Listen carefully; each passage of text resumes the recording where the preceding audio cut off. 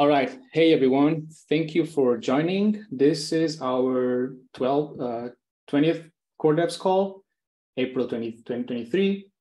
As always, just uh, just some context. Um, these core devs, they are always recorded. They are for core contributors to present what they've been working on, uh, updating the community on what's coming and discuss upcoming features. And also like protocol changes with community members like you. Um, and I'll paste in the, uh, the, the chat and the, in the show notes a link to our ecosystem calendar where you can um, subscribe to all of these upcoming calls. And do take the time or this call to ask questions, participate. We do want to hear from you. Today, we're going to be talking about uh, a good amount of important GIPs and protocol changes. And also, um, I'm going to be sharing all of the links to the forum where these discussions are, where we're having all of these discussions. So if you want to follow up async, do use the forum to continue asking questions. And we're always on, yeah, Discord too. You can you can reach out and and, and talk to us. Uh, I just noticed this is not full screen. Yeah. So today's agenda, um, we have a good amount of um, GIPs to cover. We have three major GIPs. The first one is related to the move to Arbitrum 1. We'll be reviewing the plan for increasing indexing re, uh, re, rewards and the related time, timelines. Pablo will also talk about the uh, dependencies here, like the mi migration helpers. And then Ford will go through the current plan to ensure that no down that there's no downtime when um, mi mi migrating subgraphs over the L2. And this move to L2 is a big lift and it will require some actions from all stakeholders, including not just indexers, but dele dele uh, delegators, curators, and subgraph owners too. So do take note, ask questions, like I said, and get in touch through the forum if you need some clarity or want to provide any sort of feed, feed, feedback on this. It's fairly important that you do participate. Next, and also extremely important, is the GIP 51. That one is a proposed new um, exponential rebate mechanism that is to replace the current Cobb Douglas inspired one used in the protocol to distribute query fee rebates to indexers. Um, as before, these two require some close coordination with different stakeholders, particularly indexers. So uh, do take note, and uh, we'll be hearing from Howard, one of the GIP authors, which will go through uh, the details of this new uh, proposal, its implications for indexers, and then I believe Tomasz will also focus on the, uh, the actual implementation details and the execution planning. Um, next is substreams. The, the StreamingFast folks, they've been super busy working on the uh, CLI. Now there's a new and pretty nice GUI uh, as well.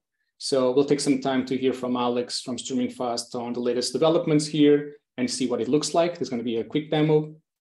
Uh, so I'm curious to know what you think, you folks think uh, about this. I've shared this in Discord. I hope we have some subgraph or and substreams uh, developers here too joining this call. And lastly, on substreams, Adam will be going substreams powered sub, sub, subgraphs. We've been talking about this for, for a while. Um, last month, during the last Core Devs call, you heard from Messari um, about the 8x indexing speed um, improvement they've managed to achieve when porting existing ones into this new stack. And we've been working hard on bringing this to the network too, and uh, this should come in the upcoming weeks. And today we'll take some time to hear from Adam what these are, what it looks like, and also, uh, more importantly, the, the, the, the, actual rollout plan. So yeah, that's it for today. Let's get started. I'm gonna stop sharing my screen. First one is Pablo. Um, yeah, thank you, Nick, for sharing all of these. And I'll also be sharing the, the actual forum posts. Pablo, I believe you are already a co-host, so you should be hey. able to the screen. Yeah. Yeah, can you hear me? Yes, perfectly. Okay, cool. I'm gonna share my screen. Can you see this? Yes, we can. Thank you. Okay, brilliant. Um, all right, so yeah, as Pedro said, I'm going to be presenting some updates on the L2 uh, scaling process, L2 scaling, L2 migration. We've been calling it in several different ways, but the idea is moving the graph network to Arbitrum and uh, having participants do all of their operations or all of their on-chain operations on Arbitrum instead of uh, Ethereum mainnet. So as we've presented about this on, on previous Dev calls, and I will really invite everybody to uh, go check the recordings from those for, for more detailed uh, information about the previous stages that, that we had. Um, we, we've been doing this in several stages. So we had a long preparation phase while we uh, looked at how to uh, build this and how to make this happen.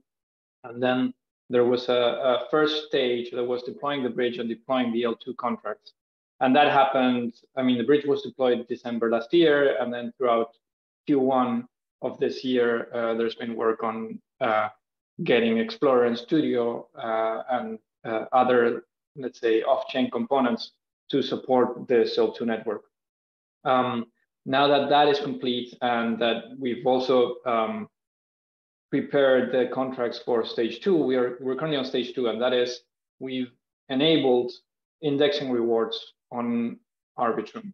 Um, currently, that's only 5% of the token issuance that is happening on Arbitrum, uh, and then 95% of it is still happening in Ethereum mainnet. Um, so for this to happen, we had to change the way issuance works.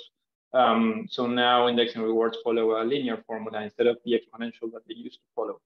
Um, but now we're we're moving on towards stage three. That is, we want to enable people to very easily migrate um, from mainnet to Arbitrum so that it, it's it's very easy for all participants to uh, start um, making use of the benefits of, of the L2 and, and the lowered gas costs. So this is happening very, very soon. Um, and I'm going to give an update on where we are on, on all of this process.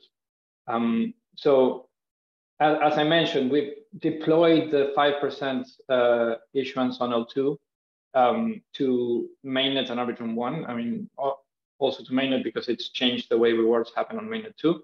Um, and it's also reduced issuance on mainnet to 95% of what it used to be.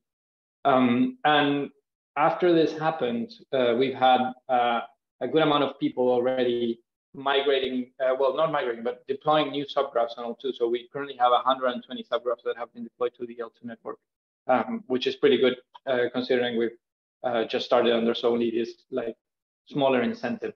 Um, and because of the smaller incentive, we also had a fair amount of stake um, from indexers that has moved to L2 um, and some delegators that have started delegating on L2 as well. So in total, that's about 20 million GRT, um, which is um, still small considering that uh, this is less than 5% of the stake that we have on L1. So uh, it's still growing slowly, uh, but it's still nice to see that uh, some participants are starting to um, set up their operations. Uh, indexers are starting to set up their operations and serving subgraphs there, um, which is pretty cool to see.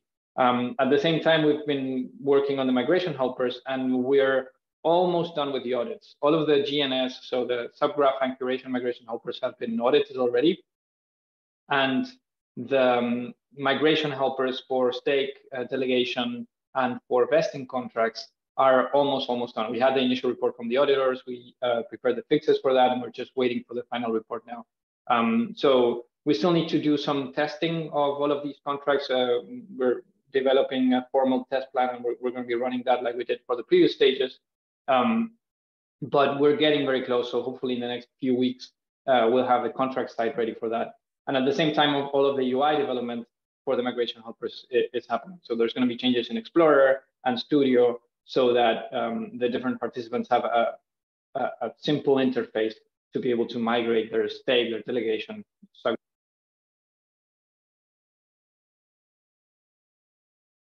I think my microphone died. Can you still hear me?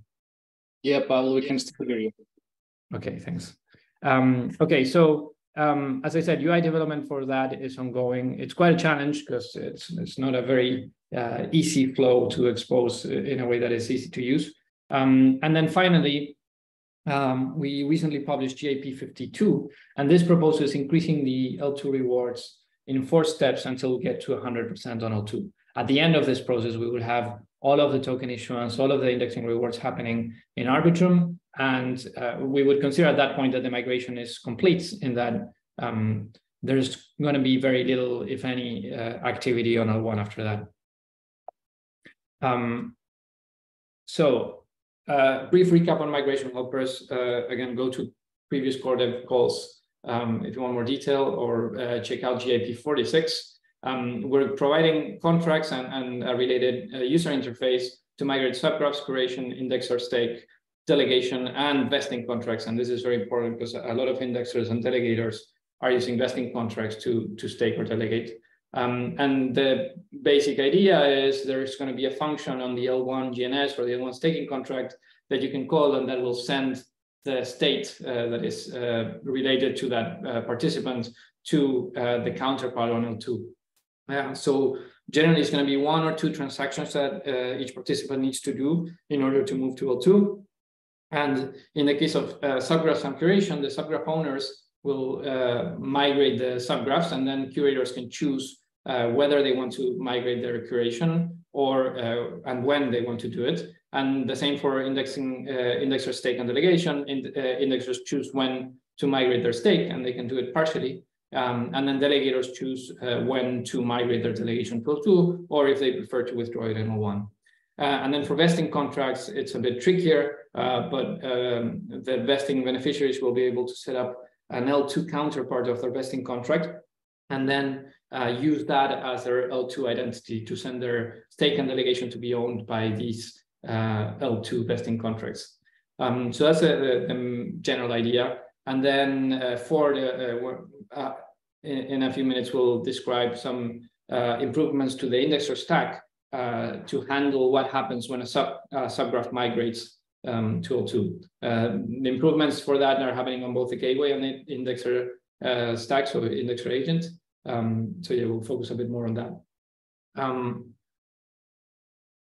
so increasing rewards in L2, um, as I said, it's, it's going from 5% to 100% in several milestones over a few months. Uh, we are setting migration helpers as a prerequisite for any increases. So it's currently at 5% and the first bump will not happen um, before migration helpers for, for all of the participants are released. Um, we're going to be monitoring that things go well in each step and we set the timeline if anything goes wrong with the contracts in particular. But if other things go wrong, uh, of course, we'll be fixing and, adjusting the timeline as needed. And there's going to be an ongoing conversation about the requirements um, for each of the steps. Uh, we've already had lots of great feedback on the forum and at the Indexer office hours uh, call, and we're going to be incorporating uh, that into the proposal. Um, and we're going to keep chatting about that and, and try to keep discussing um, before doing any of these steps, um, at least go through an indexer office hours to make sure that there's nothing uh, weird that's, for instance, stopping indexers from, from migrating or, or causing any other issues. Um, so uh, the four steps, uh, first one will go from 5 to 25%. Uh, we're trying to aim for, let's say, one or two weeks after migration helpers have released, have been released. Um, and we will have to validate that all the participants can use the helpers before uh, actually doing the bump.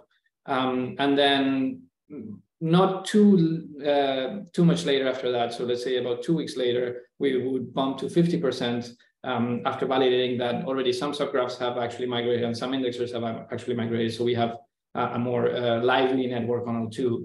Um, and at that point, there's going to be a sort of parity between L1 and L2. Uh, and we're thinking we should keep that going for about two months um, just to, to have a more uh, solid validation that everything's working well. Um, and because be before the next jump, that would be for 95%, uh, uh, we would hope that, I mean, we would require that a lot of indexers have migrated and the QoS 102 is similar to the 101. And, and based on feedback from indexers, um, we would probably add some requirement for delegators from, uh, you know, some amount of delegators to also have uh, migrated to L2.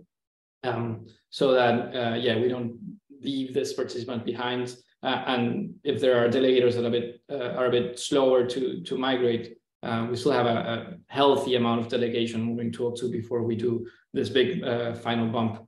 so to 95%, that would uh, kind of invert the current state that we have. Um, and then we would still keep that 5% on L1, mostly because uh, some subgraph developers might uh, take a bit longer to migrate it. And we don't want to um, put them in a position where all of the rewards go to L2 very quickly, and then um, there's no more indexers there, and then there's no, uh, uh you can't query those subgraphs anymore. Uh, so we want to avoid that uh, that's pretty important. So we're saying that the 95 to 100% uh, bump will happen at least one month later, but we would first have to validate that most subgraphs uh, that have actual queries have migrated. Um, so the first proposal was saying 90% uh, of subgraphs have migrated. I think we're going to change that a little bit, maybe to say that uh, 90 or 95% or something like that of query fees uh, have actually migrated to L2. Um, so uh, I think that's all I had. Yeah. So now uh, Ford uh, will present a bit more about the, the specifics of how we um, are supporting subgraph migration through the indexer stack. Hey everyone. Um, so in order to support, uh, if you could go back to, yeah, um, in order to support the uh, subgraph migrations from L1 to L2, uh, we're planning and, and, starting to implement some changes to the indexer stack. Um, and the main changes are going to be to the indexer agent. Uh, and basically what we'll be doing is adding support for the indexer agent to operate across both networks, L1 and L2. Um, and this is going to be required in order to support no downtime migrations for the subgraphs. Um, and so the indexer agent will be able to be aware of subgraphs both on L1 and L2.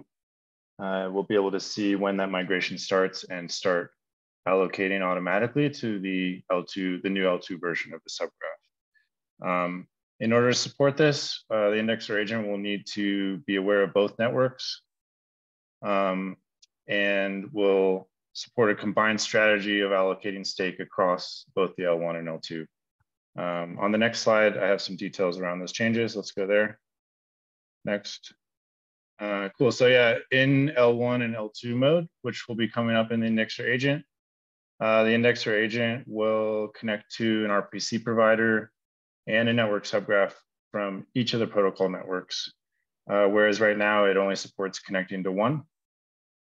Um, and this will allow the indexer agent to read data from the network uh, as well as write uh, send transactions to the network. Um, it will support a single shared backend uh, with shared graph nodes and Postgres database.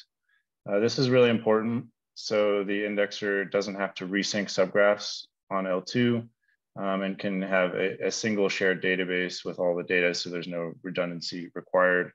Um, this is important for the no downtime subgraph migration, uh, but this is also going to be a really big benefit for especially large indexers as they move to L2 so they don't have to resync all the significant amount of data that they have, uh, often in the range of terabytes. Um, we're going to be making changes to pretty much all the data models to include a, a protocol network identifier. Um, and so your indexing rules will now be able to be defined specific to the network. Um, indexers will be able to set different default indexing rules per network. Uh, for example, setting different default allocation amounts uh, because there's kind of different environments of indexing rewards on L1 and L2, and those will be changing. Um, and then all items in the action queue will be labeled with the protocol network. Uh, Prometheus metrics will add protocol network labels. Um, and all indexer CLI commands will be updated so you can filter results by network. So in summary, the agent will basically be aware of both networks um, and the actions across both. So you'll be able to manage your strategy um, in one place across L1 and L2 and, and gradually manage your migration as you move stake from L1 to L2. Um, I think that's all we have on the L2 migration. Um, I think maybe now is a good time to ask any questions in the chat if you have them.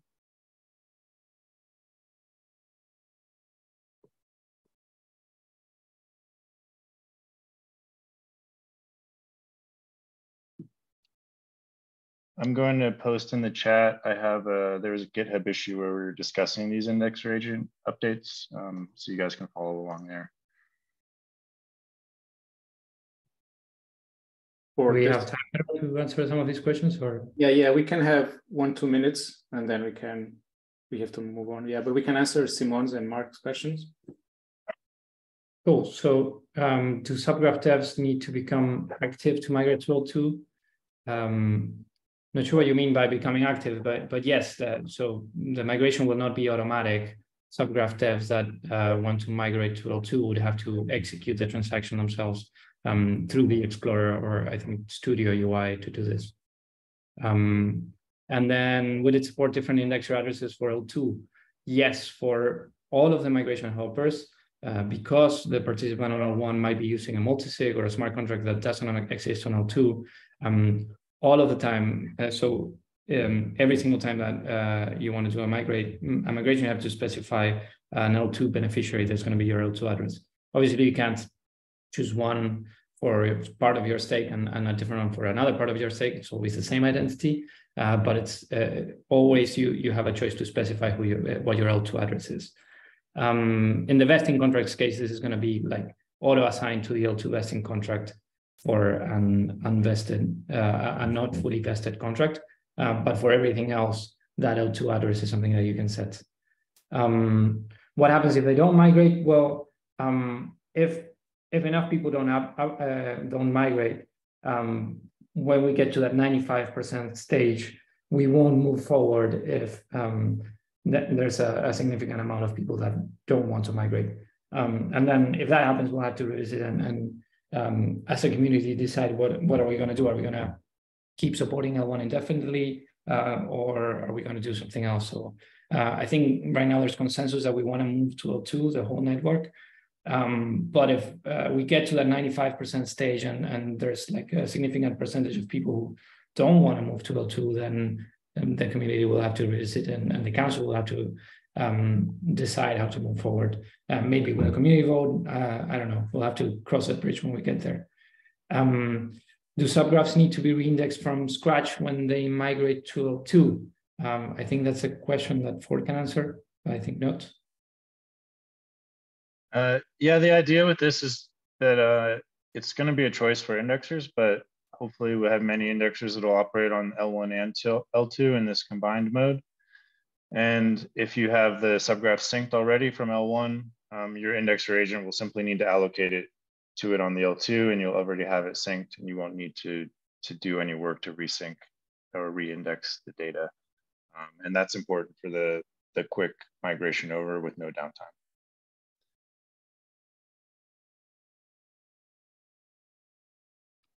Awesome. And then I see uh, you put in the chat that, yeah, uh, Mark Andre was asking specifically about indexer agent with EL2 address. Um, and you responded that we can support that. Um, yeah. Great. Yeah, thanks folks for the questions. Thank you, Pablo and Ford.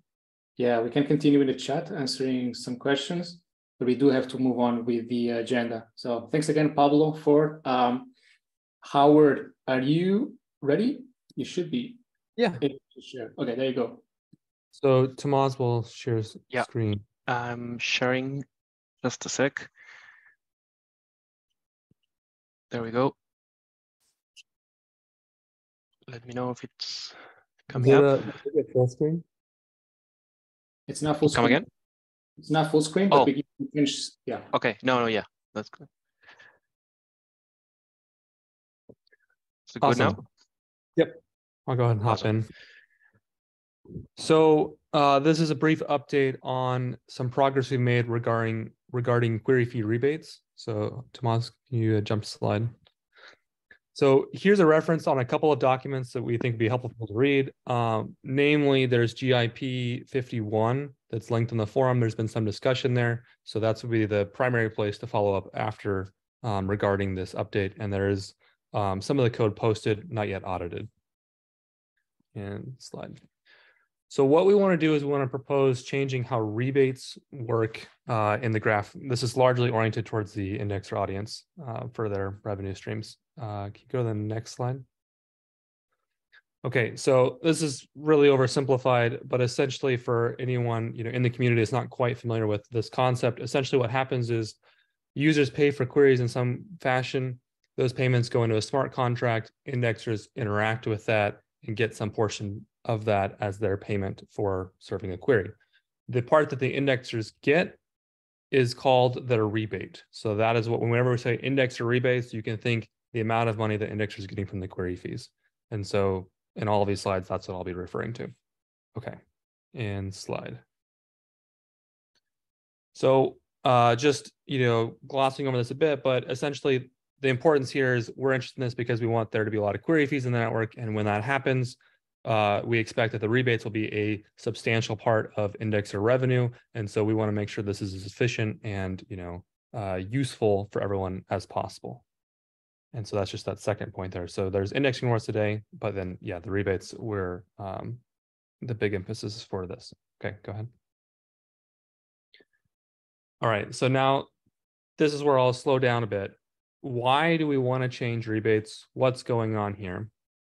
Well, today, when you look at how the rebates operate, if I'm going to try to summarize this at a high level, what you have to do is you look and say, how much stake do I have in GRT? And how much stake do a lot of other indexers have in GRT? And how many query fees are they serving? And how many query fees am I serving? And then if you get all those things together in the right way, you can actually compute what the rebates you'll get are. Unfortunately, you can't know what everyone else's decisions are going to be. And so you have uncertainty in the amount of GRT you're going to actually get for serving any particular query. And so you have this uncertainty. It's kind of complicated as far as how you have to reason about it with all these different, you know, uh, interactions between people. And an additional consequence of how it operates today is that there's a lot of the rebate that is burnt. And when I say burnt, I mean, as an example, if a consumer pays one GRT for a query fee, maybe only 0.6 GRT end up to the actual indexer that served for the query. Maybe it's 0.65, but the point is there's actually a substantial percentage of query fees today that are just burnt and they you know essentially cease to exist so the indexers are not getting that and that creates a point of friction where either the consumers could be paying slightly less or the indexers making more or some combination of the two either way this is causing a hindrance to the ability of indexers to make you know a, profit from serving queries and so we can think of the cobb douglas inspired form of rebates right now it's it's kind of complicated it's kind of opaque to a lot of indexers, you know, as far as like trying to explain how the different pieces work and trying to predict things. And also importantly, it's inefficient. And what we'd like to do is switch to something that's simple so that you know we can explain it clearly, people can get the concept. It's intuitive. They maybe, for example, don't have a lot of uncertainty, and then it's efficient, meaning that there's not a lot of query fees being thrown away. It's really just going directly from the consumers to the indexers as much as possible. There are additional concerns or you know things that we need to do to ensure the security of the protocol, but we want to make it as streamlined as possible for everyone. And so that's the the real emphasis of what we're trying to do with this change. And slide. So this is the the one mathy type slide and essentially there's two, let's say, magic numbers or protocol parameters. And if I am looking at a particular subgraph as an indexer, and I need to figure out how much am I going to get rebated for serving queries on that subgraph, the formula is like what we see here on the top right. So R sub ij, that stands for the rebate the ith indexer gets for serving on the jth subgraph. And the Q sub ij is the query fees for the ith indexer on the jth subgraph. And the S sub ij is the stake that they have by the ith indexer for the jth subgraph. And so this little expression that you see on the top right, also shown on the bottom left, it's this one minus alpha e to some uh, exponent essentially what it's saying is that if you stake a lot relative to your queries that are being served, you'll get essentially all of the queries. This number in parentheses will essentially be one when you have a lot of stake relative to the amount of queries that are being served. And so, you know, if query fees are sufficiently, sufficiently large, this is essentially going to encourage indexers to stake in proportion to the query fees.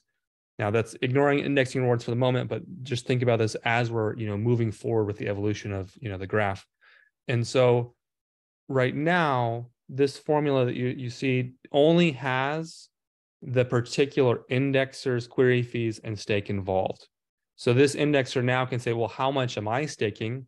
How many query fees am I serving? Okay, this is exactly I can compute with this, you know, one line formula how much I should expect to get rebated. There's not uncertainty about what anyone else is doing, and I don't have to depend on other people's staking decisions. And so that's kind of the, the big summary here is that you, you know, this is the one line formula. You just take as inputs the query fees and the stake. Now, what we'll talk about is the stake ratio. In this uh, fourth bullet point, you see S sub ij over Q sub ij. That's the amount that you are staking relative to the amount of query fees uh, you're serving. Essentially, everyone in the graph today, as far as indexers go, have a very large stake ratio as, as far as this formula is concerned. Okay, let's go to the next slide and try to make this a little more concrete. Yeah, so here's what that curve looks like. That formula, if you, as you increase the stake ratio, what's going on is that you're getting a larger and larger proportion of your query fees. So if you have a stake ratio of, let's say, 10, you're essentially going to get almost 100%. It's like 99 point something. It'll be more clear on the next uh, slide. But the goal here is to encourage people, you know, to stake for for you know we need it for collateral and such for security. And so this is what it's going to look like intuitively for you guys. And slide. Okay, so let me now walk through one little numerical example. Let's suppose that as an indexer, I serve 100 GRTs worth of query fees, as in, you know, someone paid that much, and it was on, let's say, some random subgraph, and I had allocated 1,000 GRT. In that case, if you go through and plug in the numbers with these tentative parameters that we're suggesting in the GIP, um, where alpha is one and lambda is 0.6, if you just go down on the left side, you see this R sub ij, we just take each of those variables and plug in our numbers, the 100 and the 1000, and then the lambda and alpha values, and we get out 99.75. So this means that if someone had served 100 GRTs worth of queries, they're going to get back all of that but 0.25, which is a substantial improvement from today where that could be, you know, 30% or more that's being uh, burnt. And so that's uh, hopefully going to make it much more efficient for everybody. Okay, and slide. So last slide, as far as economic concerns, Tomasz is going to take us over uh, more implementation things. But today you have to uh, get rebated based on the network state. And so this requires, you know, using these pools and interacting and thinking about how everyone else is behaving, which makes it just really hard to think about and how, hard to optimize, you know, your decisions on how much, you know, to be staking on these things. In addition, you don't know necessarily how much you're going to be rebated and it's inefficient you can pretty much flip all of these now with our new proposal. And so hopefully that should be much simpler for everyone. And with that, I'm going to hand it over. Thanks. Okay, thanks, Howard. Um, yeah, so I'm going to talk a little bit more about uh, what this means, uh, like in terms of uh, actions required for indexers and how this impacts uh, operations. Um, so far, Howard has covered like uh, the economic side and how like we are changing the formula. So initially or intuitively, you could think that the implementation for this is like a drop-in replacement. You take the old formula, take it out, put the new formula in, and that's it. Um, that's not quite uh, it in reality, uh, but that's a good thing because um, the main thing is, okay, we're changing the formula, yes, but the most important thing here is that we are removing uh, this dependency that the current formula has on the network state, on like other indexers stake, other indexers decisions, etc.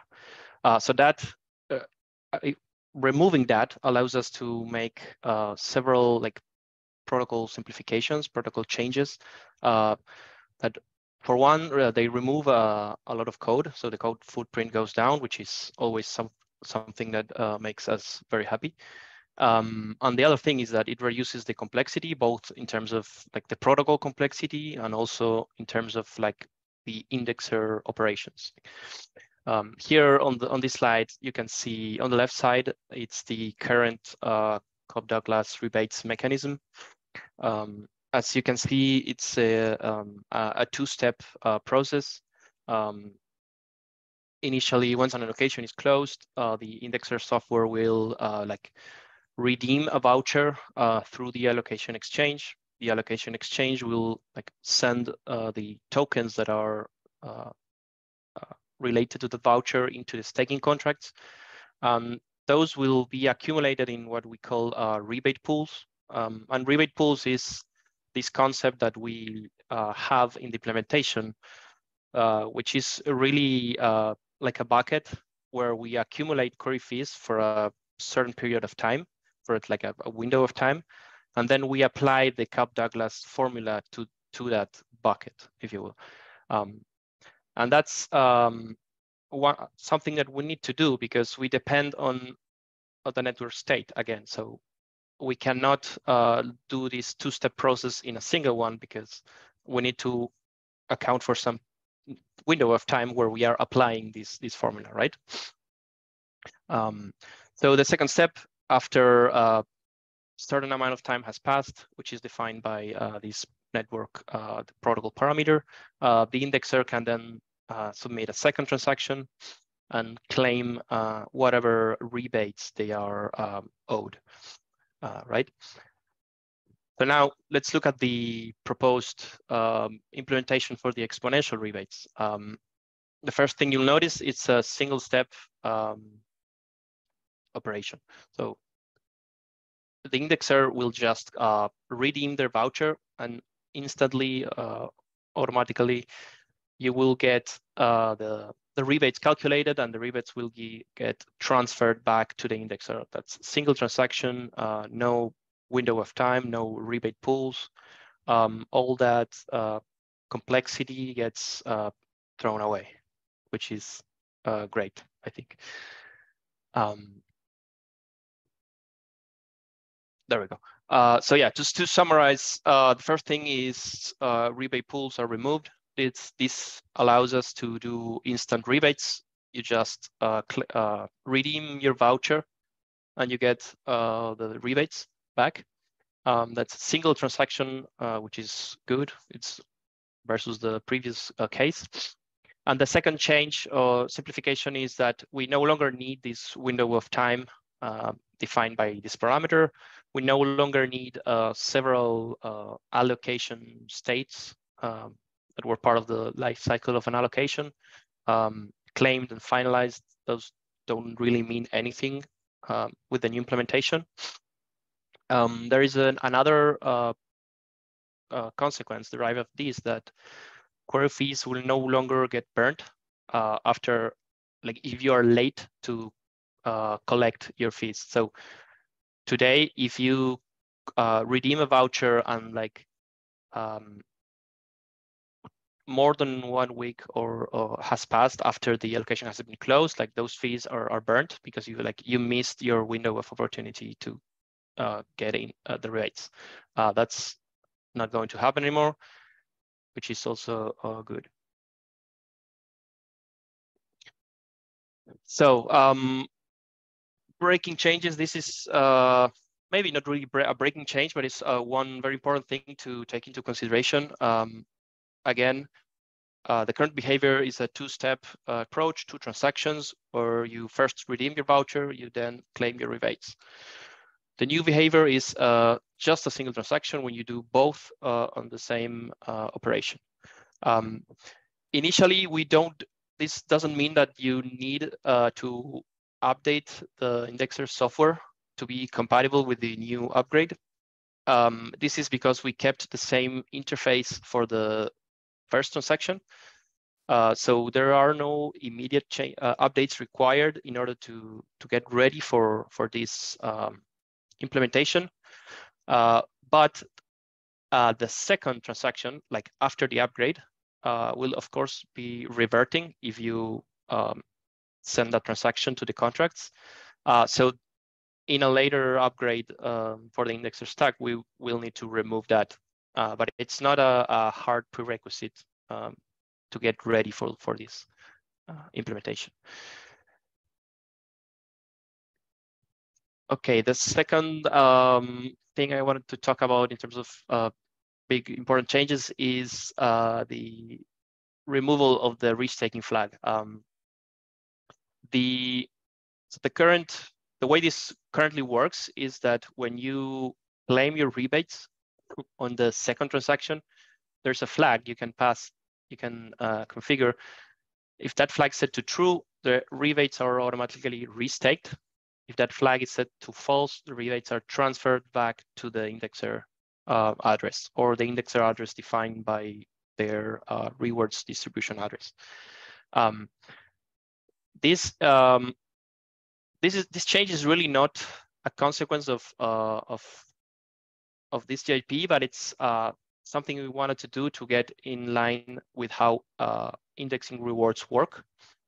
So the way indexing rewards work and the way we propose the the new uh, query fees rebates work is that uh, there is no more flag, and then the behavior it depends on whether or not you have a rewards destination address set.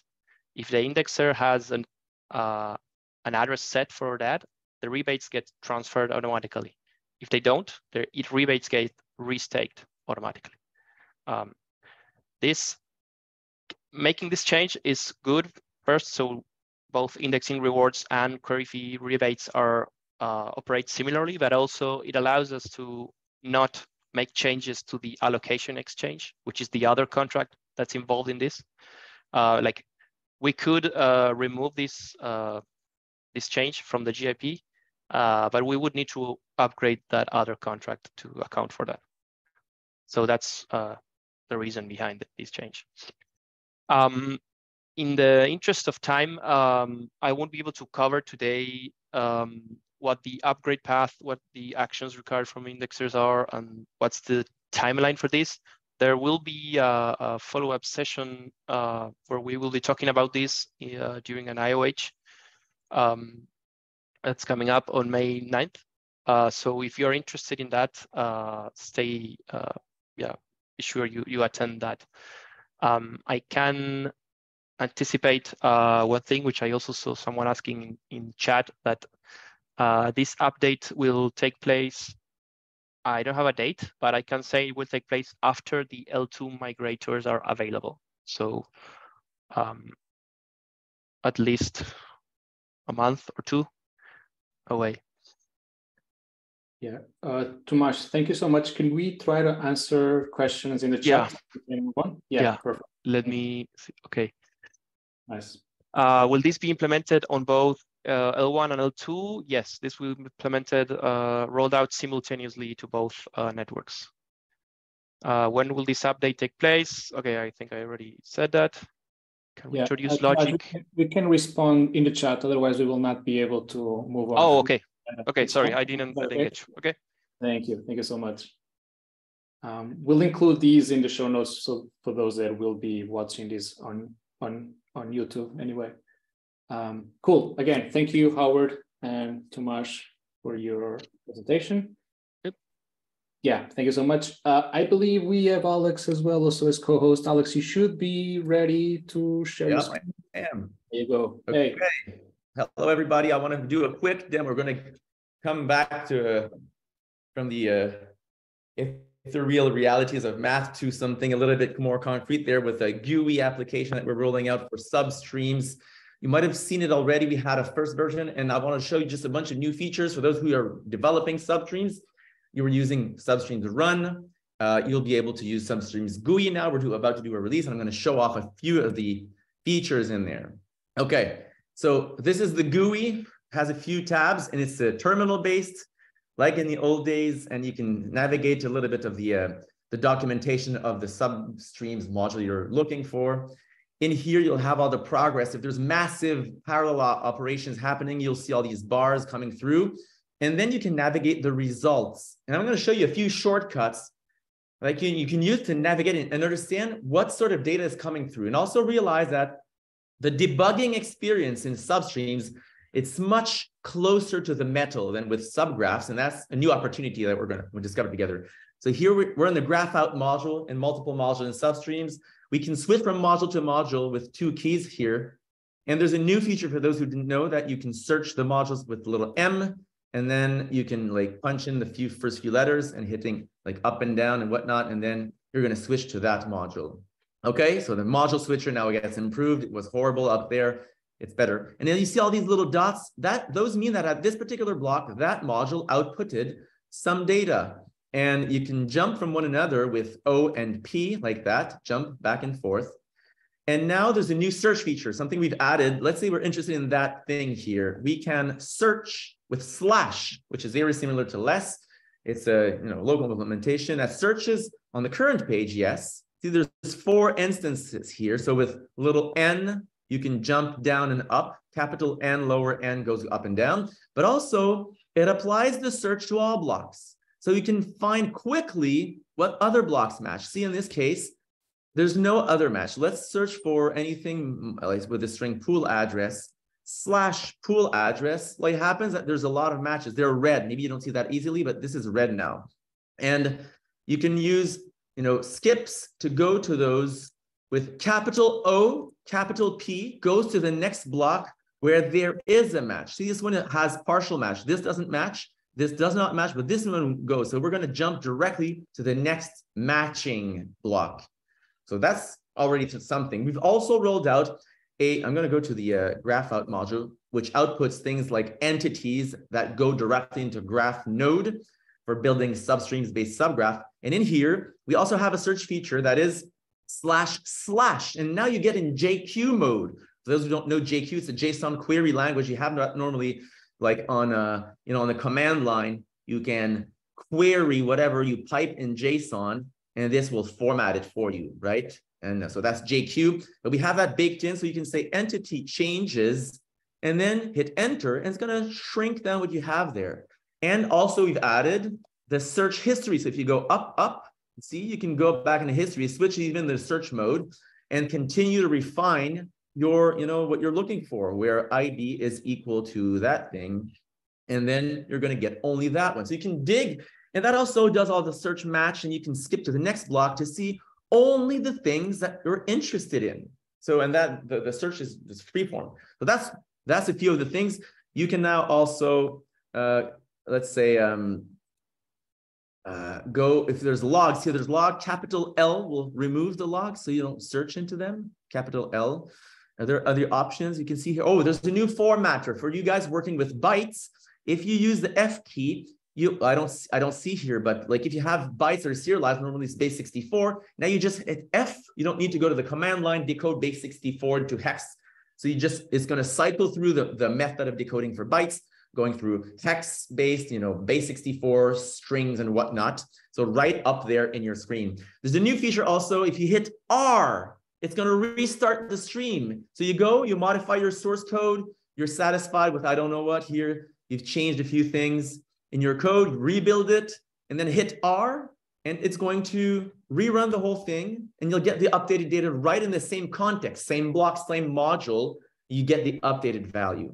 Now, uh, one last thing I want to show is we have now a visualizer for the structure. So the graph structure of the substreams module. So we're graph out, you see all of these are the inputs to the graph out modules. You can go there and discover a little bit more, you know, of uh, what are the um, the childs and all that, right? What are the childs? All the consumers for map extract. So you can sort of visualize it. Eventually that becomes a switcher also for, for better understanding of the data dependency tree, which is a core proposition of uh, substreams. So I think that covers it up and down and all these things.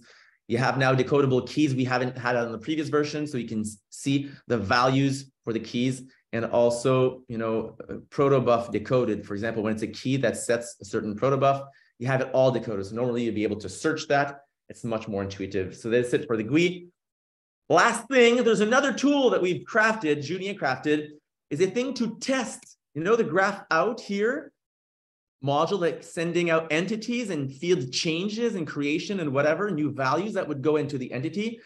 This little tool we launch and it queries GraphQL, the subs, the subgraph in GraphQL, and it validates that all the values are the same. So it's looking for that particular entity, querying for that ID, for that field name. This is the value that comes out. And then you can go systematically all blocks based on the graph out output to query the other one and do comparison.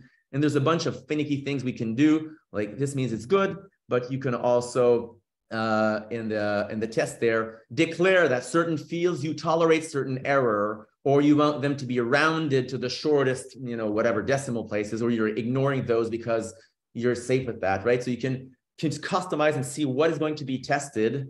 And uh, that's mostly it. So i think it's pretty cool. We're going to ship that. We're going to release it soon. You can already build from source. And this will aid massively in you know the the debugging experience. Even before it reaches any postgres database which usually what what takes a lot of time you can go and inspect midways in the in the in the chain after a million block with parallel operation uh, happening before so you can concentrate on debugging you know one aspect without loading in postgres okay that's it for me thank you all see you there thanks alex would you say the substreams channel we have on Discord would be the right place for folks to reach out and comment on all of these and ask questions? There's a lot of things that happen in our Discord, so I'm kind of split, but uh, you can go there. There's a substreams channel in the the graph Discord. Oh yes, of course. Uh, so reach out. Any means is going to be good. We're going to try to to listen there. Cool. All right. Uh, nice segue into Adam's presentation, right? Yes, there was some um, definitely like complementary stuff there. So let me um, maybe slideshow. Is that going to work? Can you see the slide? Yeah, your full screen. Perfect. Um, so yes, so so this is very much in the same ballpark. Um, a lot of the same um, stuff that we're working on across the teams at the moment. So um, some time ago, we had a, a, a post on the forum uh, so substreams into subgraphs, a simple integration. I think things are always um, maybe simpler in in in prospect. Um, but I, th- I think what's been amazing about this uh, this whole effort is the number of teams who've been contributing across the ecosystem. So we've got folks uh, building substreams, building tooling for substreams, um, building uh, infrastructure and sinks for substreams, and so it's really uh, been cool to see it all like all all come together across teams uh, with everyone bringing their different talents to bear. So um, uh, I guess so. Alex touched on some things. Um, again, uh, for some people, this this will be uh, understood, but the anatomy of a substream looks kind of like this. You've got protobuf, so the shape of the data. You've got um, you've got modules which essentially like are processing that data, and then you've got the substreams.yaml, which kind of pulls pulls it all together um, and sort of uh, coordinates uh, coordinates what's happening. This has a lot of parallels with subgraphs, obviously, um, and so then there's this interesting thing of how we feed um, feed a subgraph with uh, with that substream uh, with that substream data. So uh, substreams need sinks; they're stateless. Alex has talked about this before, and a subgraph uh, is a sink. There's a Postgres database there.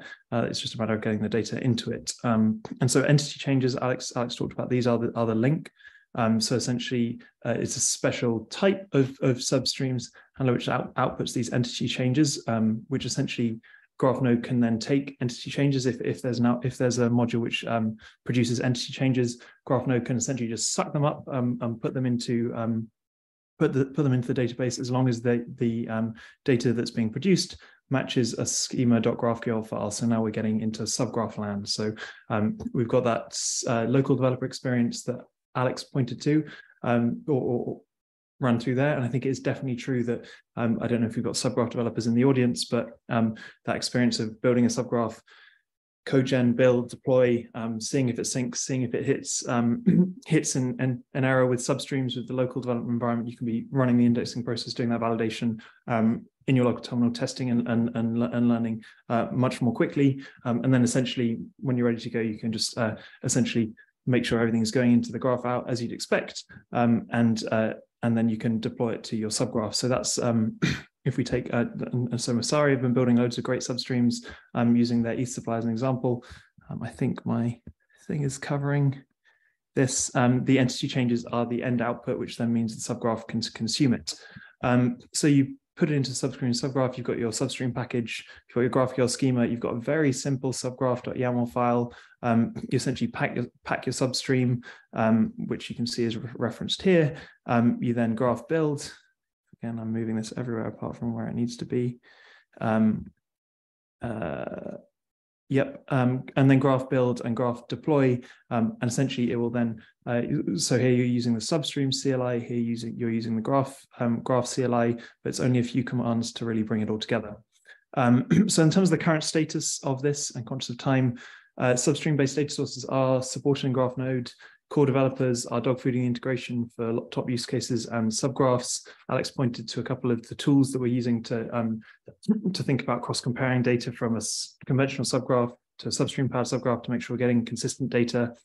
Um, other ecosystem participants are starting to run Firehose and substreams infrastructure, um, and there's a MIPS uh, mission coming up to get people, uh, get indexes running um, substreams, which essentially means running a fire hose, means um, uh, exposing a substream endpoint and then connecting your graph node to it to index a subgraph um, as, as I've described.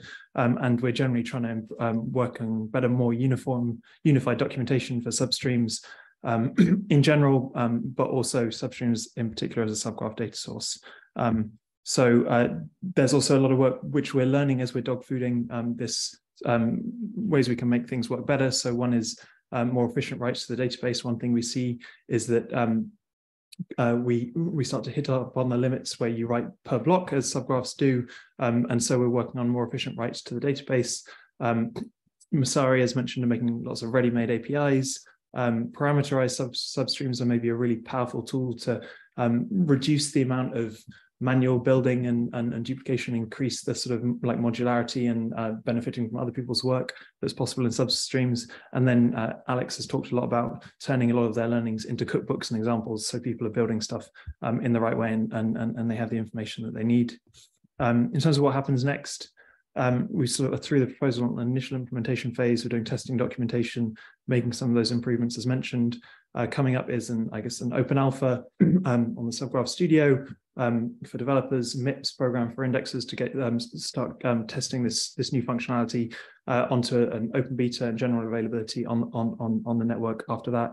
Um, and so uh, we are running out of time, so I don't know if we even have any time um, for questions. But uh, yes. Um, uh, yes, well, so so the, the, example I was just showing there was in this um, was in the Messari substreams example, Dylan. Um, but I, th I, think one thing we definitely want to make available is, is, is more examples that show um, all of the different patterns that we're kind of um, that we're seeing. Um, yes, there's they they've, they've, got some great examples there, and they've very much been leading the way on some, in particular, some of the network-wide um, substreams. I think we're out of time. Yeah, we are perfect. Nicely timed, right, uh, Adam? Yeah, I just posted a, an example that Mr. just shared with me very recent recently. Uh, but uh, we can share some more in the disc in our Discord too. So do reach out, Dylan, in our substreams channel. We'll be taking a look. And yeah, as Adam mentioned, we'll be working on better, better docs and cookbooks and examples. Um, yes, with that time, I just wanted to do one final shout out to Darby. Uh, she's a graph advocate. Um, she's she's an advocate. She's been doing great work on collecting all of these notes and sharing it on Twitter. Super helpful. Get like a nice tweet tweet tweet thread. So do be on the lookout for those um, summaries on Twitter moving forward as well. Thanks, Darby.